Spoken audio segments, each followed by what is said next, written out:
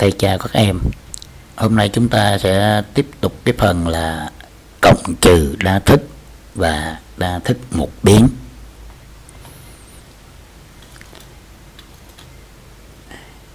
Thì trong cái phần cộng trừ đa thức này thì uh, chủ yếu là khi em thực hiện em phải vận dụng quy tắc bỏ dấu ngoặc.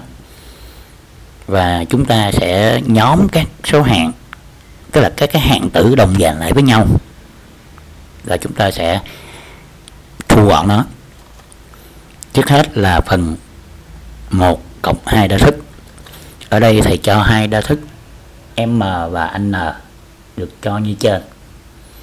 M là 5x mũ 2y cộng 5x trừ 3 còn n sẽ là x y z trừ 4x mũ 2y cộng 5x trừ 1 trên 2 thì ở đây là trình bày là ta lấy m cộng với n. Thì bản thân mỗi cái m và n là cái đa thức của em nó là một cái tổng, cho nên là chúng ta cho nó vô trong dấu ngoặc hết. Và từ đây xuống đây thì chúng ta sẽ vận dụng quy tắc bỏ dấu ngoặc. Trong phần này thì đơn giản vì coi như hai cái mặt mình nó trước mặt mình đều là dấu cộng hết, cho nên dấu các số hạng được giữ giữ nguyên. Rồi sau đó thì chúng ta sẽ nhóm các hạng tử đồng đồng dạng. Đây, phần x mũ 2 y, x mũ 2 y.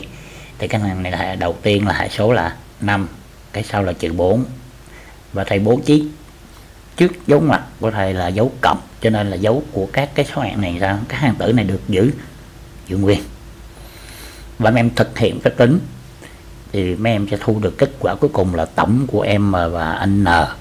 Nó chính là x mũ 2y cộng 10x cộng x, y, z trừ 3 đơn vị 1 phần 2 thì tương tự như thế thì trừ hai đa thức thì cũng vận dụng quy tắc và dấu mặt. Khác hai cái đa thức, b và q như trên ví dụ thì đầu tiên ta cũng đặt hai cái đa thức này trong dấu ngoặc, bố trí như vậy. Rồi tiếp tục, mấy em sẽ bỏ ngoặc. Thì chú ý, vì trước mặt thứ hai, nó là dấu trừ, cho nên em phải đổi dấu tất cả các cái hạng tử trong mặt này lại hết. Và sau khi bỏ ngoặc xong, chúng ta sẽ lại nhóm lại một lần nữa tức là các hàng tử nào động dạng chúng ta cho nó vô một nhóm. Và ở đây thầy cũng bố trí như vậy. Những cái nào mà không có nhóm thì viết viết lại. Thì thực hiện phép tính, các hàng tử đồng dạng là tính trên các hệ hệ số. Thì mấy em sẽ thu được. Ở đây có cái 5x trừ 5x của mấy em, là là không nhân x, mà không nhân x là không. Ở đây thầy không ghi vô đây. À như vậy thì khi làm phép cộng thì mình nhẹ nhàng hơn một tí. Còn có phép trừ hay là thức thì chậm cũng được, tránh sai sót khi chúng ta sai dấu. Giờ chúng ta sẽ đi qua phần đa thức một biến. Thì đầu tiên người ta định nghĩa thế này. Đa thức một biến là tổng của những đơn thức, nhưng mà chỉ của cùng một biến mà thôi. À đây. Thầy đưa ra hai ví dụ. Đa thức A 7y mũ 2 trừ 3y cộng 1 trên 2 thì đây chính là đa thức của biến y.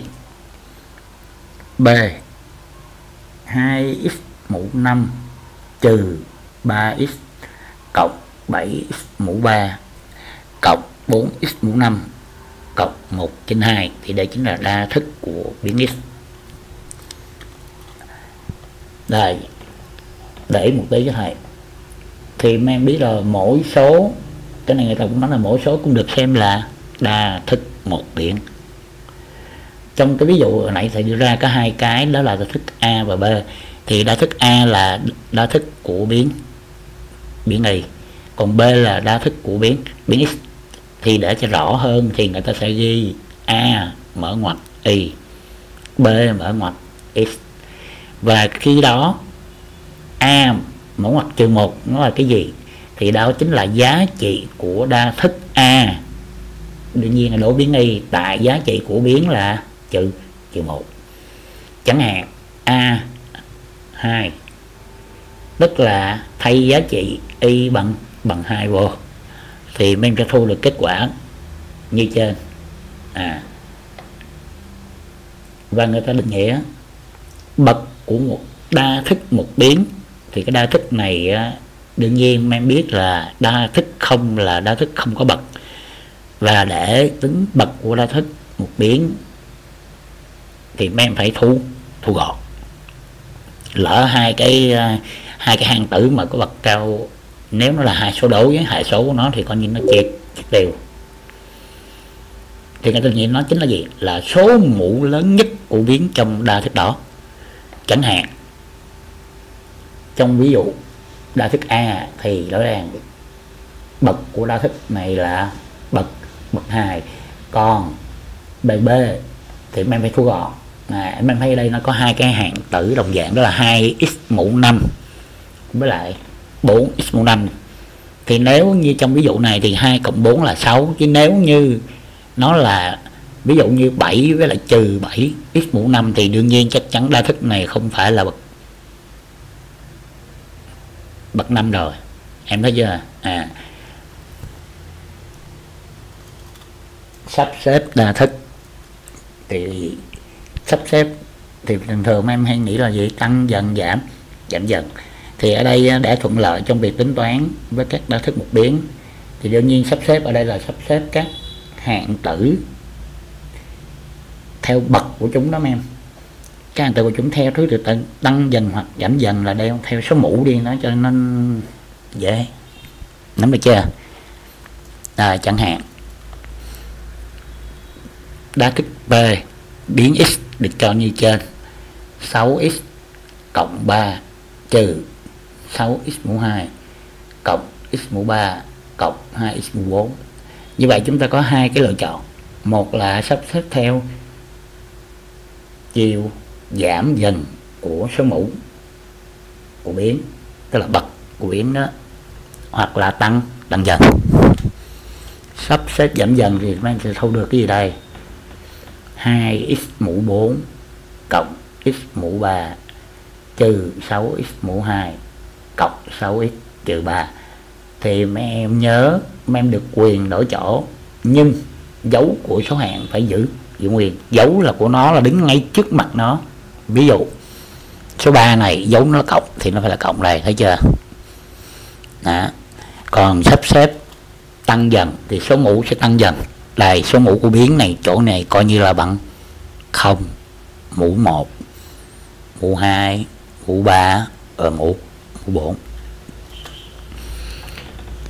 thì uh, chúng ta sẽ lưu ý một số điều để sắp xếp các hạng tử của đa thức. Tức là bạn muốn sắp xếp tăng dần hay giảm dần gì đó, thì trước tiên ta nên thu gọn đa thức đó. Và cái đa thức có dạng ax mũ 2 cộng bx cộng c. Thì người ta nói chú thích là trong đó a, b, c là các số cho trước. Với, và đặc biệt, cái hệ số của cái mũ cao nhất là ở đây là mũ 2 x mũ 2 để mấy em. A phải là khác cho không. Thì đây chính là đa thức đối với biến x thì các cái chữ a, b, c này người ta gọi là hằng hằng số. Còn đa thức này chắc chắn là đa thức. Khi viết như vậy đó là, biến của nó là là x. Phần hệ số. Xét cái đa thức b là 5x mũ 4 cộng 7x mũ 2 trừ x cộng 10 và em thấy đây là đa thức đã thu thu gọn thì lúc đó người ta mới nói nè, năm là hệ số của lý thừa bậc 4 mà cái đa thức này mấy em thấy nó chính là đa thức bậc 4 thì cái hệ số của cái lý thừa 4 này người ta gọi là hệ số cao nhất.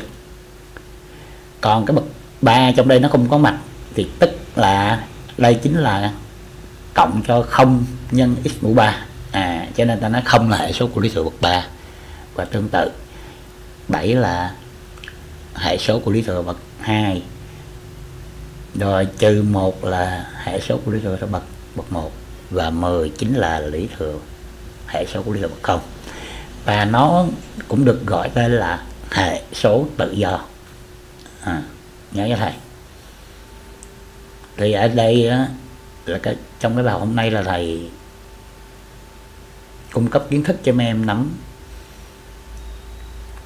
Khi thực hiện phép cộng hay đa thức như thế nào, trừ như thế nào, thì mấy em nhớ chủ lực vẫn là gì?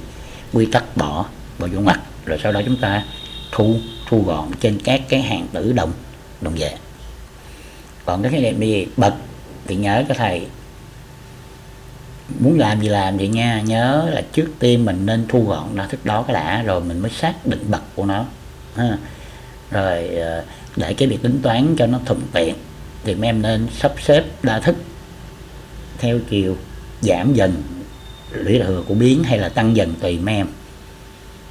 Nè, đây cái phần bài học hôm nay. Đến đây thì ờ, thầy tạm dừng. Và thầy ờ, xin chào các em.